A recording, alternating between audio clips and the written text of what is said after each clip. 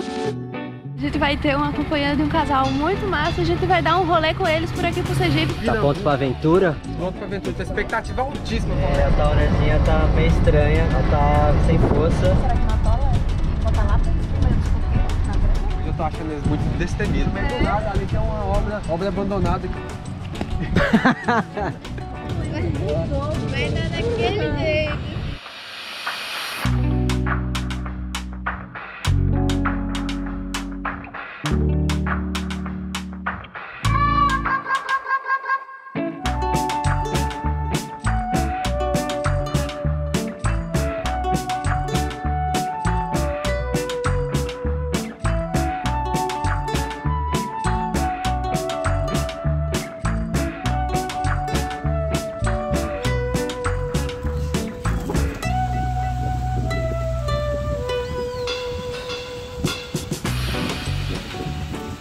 Primeiro dia Natal, né? É de quê? Chuva, galera. Tá caindo maior temporal aqui, ó. Pra, pro coqueiro como tá balançando.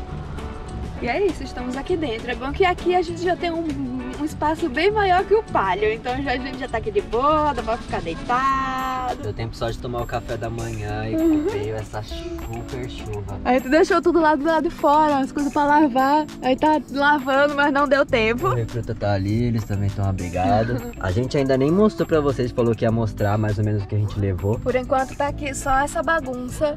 Mas a gente ia mostrar pra vocês agora de manhã, mas aí acabou caindo o temporal e não deu tempo. Mas a gente vai mostrar. É, a gente já mostra, explica como é que a gente faz pra dormir Mas já tal. vou dizer que a dormida foi gostosa, não foi, meu bem? Comparado ao que era no palinho, foi uma maravilha, É. né? Só de dormir esticadinho e tal, já foi. Ótimo. Até que enfim a chuva deu uma melhorada, né não? Conseguimos desintocar. Ó, vamos mostrar rapidinho então como que tá sendo a nossa improvisação do rolê. Como vocês viram, já tava com o colchão, então a gente Agora trouxe. ele está no modo sala. Você tem um encosto no nosso sofá, cama. É, nós só pegamos os travesseiros nossos, o nosso lençol. Aqui na parte de trás a gente nossa pegou nossas coisas. Temos essas duas caixas. O botijão tá aqui dentro, na hora que a gente vai usar, a gente tira ele daí. É, aí aqui tá, a gente botou umas panelas, umas coisas que a gente comprou e tal. Comidas. E essa outra E um gente tá lençol dentro, nada a ver. É o lençol do colchão que a gente até nem, Nem usou. colocou.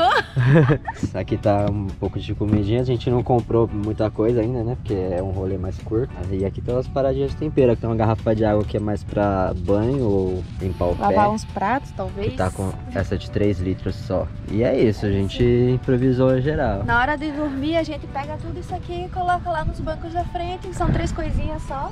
E o colchão encaixa certinho aqui. Ali tá o nosso banheiro, que é a necessaire que tem tudo de é, escova, banho, essas coisas. E aqui embaixo do banco tá as nossas cortinas daqui que vocês viram, né? A gente não usou ainda, É. não sei se vai rolar o teste nela agora, mas tem a opção. E aqui tá o recruta ali lendo qual é a próxima tópico do recruta. Abri aqui na primeira página, dois códigos, bora ver. Se quando o Ruth sai para viajar, ele não sabe o dia que vai voltar. E aí, vocês têm um cronograma? certo. É isso mesmo. Agora o outro, para o Ruth, essa aparência não é importante. E aí, o que, que vocês acham disso? Aí depende, aí Ele depende tá do Roots. que as pessoas perdem muito tempo com a aparência. Logo o Ruth já nasceu com aparência. E sabe que, que não tem como mudar, entendeu? Ele já sabe que aquilo é ele e pronto. E é assim sempre será. Não tem como melhorar, né? É, Mas é isso, agora então nós vamos para onde? Partir para o próximo ponto, que como ele disse na primeira lição, ninguém sabe o dia de voltar. e nem o ia- destino, ia né? ser um dia só, mas a gente já tá vendo outro ponto pra ficar, então vai ver, né? Como é que vai terminar esse dia. Mas a gente vai lá pra Lagoa Redonda agora. Queremos ver Gessauro na lagoa. Será que ela sabe nadar? ah, faltou falar que aqui tá a mochila com as nossas roupas. A gente deixou aqui agora, mas na hora da, Ela do rolê ela fica ali. E de resto, mais as nossas coisinhas, né? Tem umas sacolas de lixo aqui. Um incenso e uma plantinha.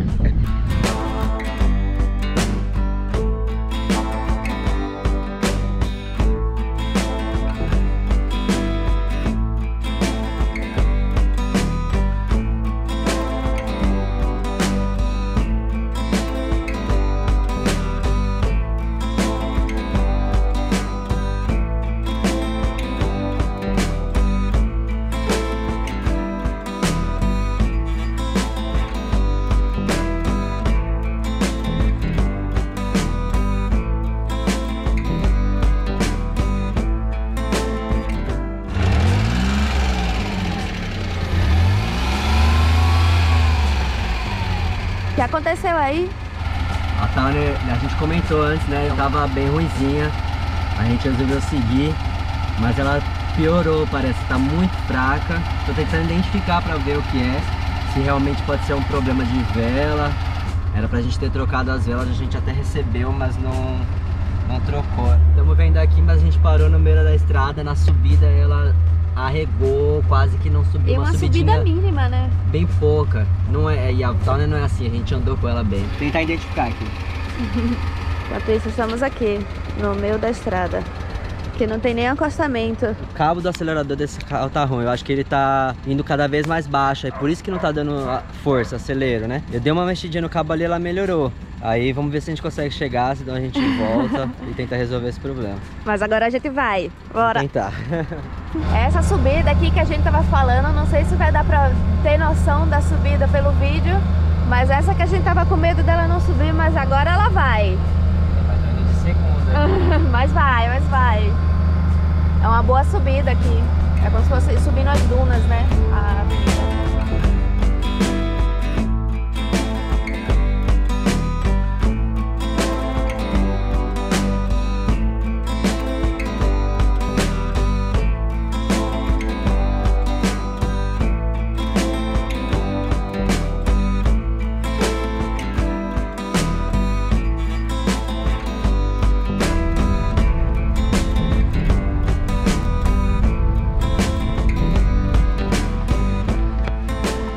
Lagoa Redonda fica localizada na cidade de Pirambu, em Sergipe.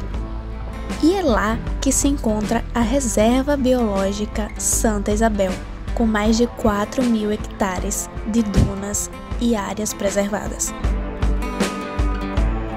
Tem alguns bares nas margens da lagoa e é bem procurado aos finais de semana pelos sergipanos. Mas o melhor é a paisagem incrível das dunas que se misturam aos coqueiros e aos diversos lagos que se multiplicam na época de chuvas, ganhando o apelido de lençóis sergipanos.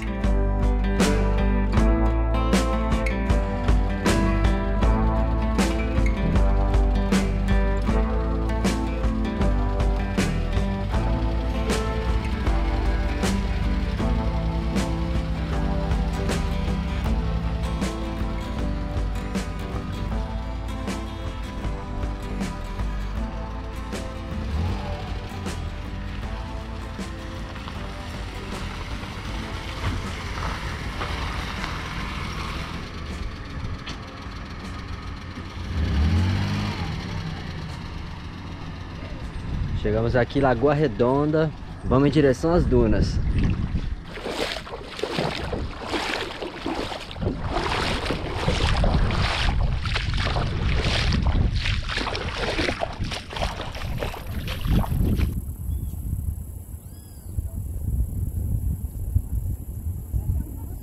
E aí, Recruto, você quer acha uma esfera aí? Rapaz, aqui que é o Rio Grande tá se achando. Uma reserva biológica. É, a gente vai encontrar por aí. Travei as garras. Aí sim, aí sim. A gente subiu aqui numas dunas que ela simplesmente cobriram os coqueiros. Ali a recruta tá pegando um coco ali baixinho. E finalmente um coqueiro que a gente consegue pegar um coco. É, não, esse é o primeiro coqueiro que, ó, pra você pegar, você tem que pôr a mão pra baixo. Em vez de pegar pra cima, olha que, que massa. A gente tá aqui no oásis, ó, que massa, muitas dunas. O mar tá longe, a gente quer chegar lá, mas ó...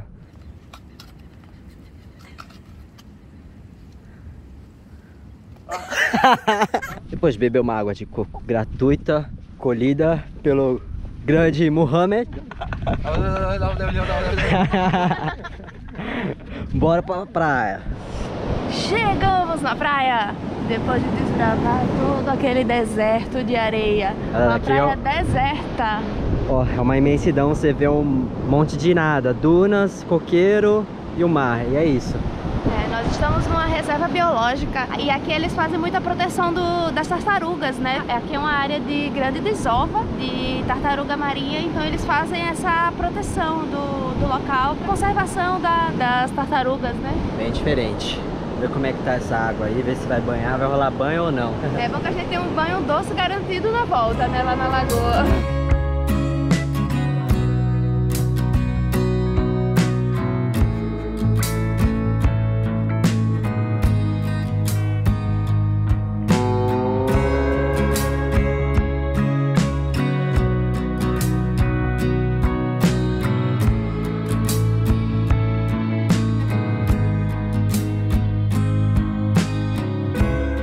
Já curtimos ali um pouco de praia, mas já estamos voltando que a gente quer pegar um banho no riozinho.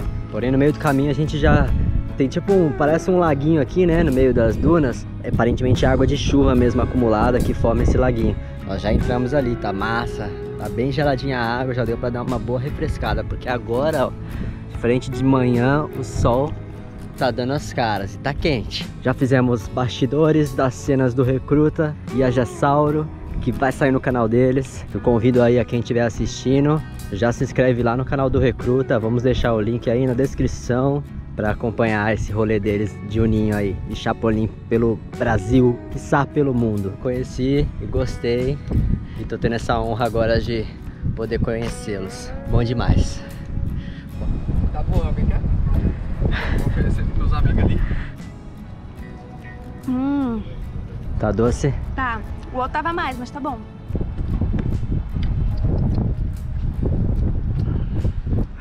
Você já pega sua bebida, seu alimento e ainda tem uma sombra para se É proteger. a sombra, cara, no deserto. Mas é de graça. De graça. É, esse aí foi bom. Esse quer mais. Engraçado, ó. Eita porra! Tirou, velho. Foi de propósito. Vai ter uma aula de como pegar o coco e abrir o coco com o recruta. Saindo de trás do mato. Tô facilitando pra ele, eu tirei um pouco pra ele, mas é porque ele é iniciante. Então Já fez a- o primeiro serviço, agora eu me viro então, né? Isso? Você pegou o tutorial certinho, te dá uma tampinha, Vamos tentar aí. tem a pontinha, vai retinho nela. É, isso, De frente, né? de frente, é. E, e, abaixa a traseira isso. Gente, e lembrando que não é força, é só jeito. Primeira parte eu consegui, agora e agora?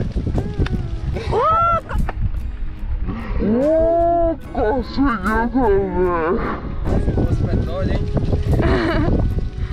Aí você gira ela assim, ó, tipo, enfia ela e gira. E o aprendiz enche, enche a garrafa do mestre. Depois Oi, de encher minha garrafa, aí você pode beber o coco. É. Esse- essa experiência aí eu não ganhei Bora, graça, meu bem. Aqui, mestre. valeu.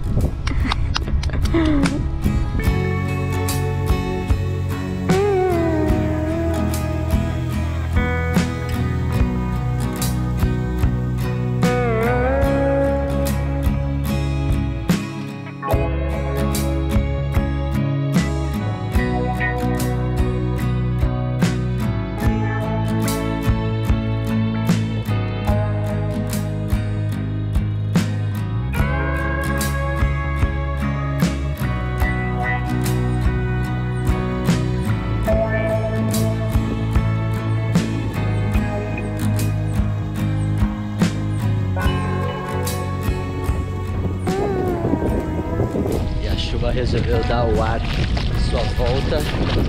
Estamos correndo dela novamente. O dono do bar, nos desculpe, mas vamos nos proteger por aqui. Essa era a nossa briga. A fome bateu, vai sair aqui uma farofinha. Improvisamos muita coisa aqui. Gessauro tá mandando um arrozão. Deixar a cara Vinagrete. pretinha. É, já temos uma calabresa cortadinha ali já fritinha. Todo mundo tá triste, mas o melhor tempero é a fome. Então, Estamos aqui nesse momento ilhados. Sergipe, frio. Tá Frio. aqui, vai ser Frio. O dinossauro fazendo barulho. É o ronco do dinossauro. Tá bom aí, galera? Esse almoço? é uma delícia, provadíssimo, É hein? isso aí, galera. Aí, rapaz. Comidão. Certo. Mano, chegou na hora. Começa a chover aqui, a gente tava na praia.